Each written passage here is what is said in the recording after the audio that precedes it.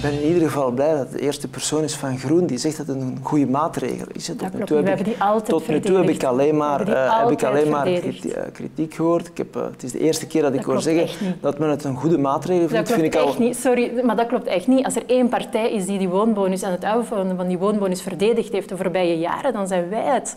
Jullie hebben ons nooit bijgestaan. Dat klopt gewoon niet. De eerste die het durven zeggen heeft is Mieke Vogels en dat dateert al van acht, negen jaar geleden. Dus dat klopt gewoon niet. Mijn voorzitter heeft vorige week op de radio ook het uitoven van de woonbonus verdedigd. De eerste commissie had ook met Jan Jan Bon heb ik het daar verdedigd. Dus dat klopt niet. U heeft altijd een hele goede partner in ons gehad in het verdedigen van waarom die woonbonus uitgedoofd moet worden.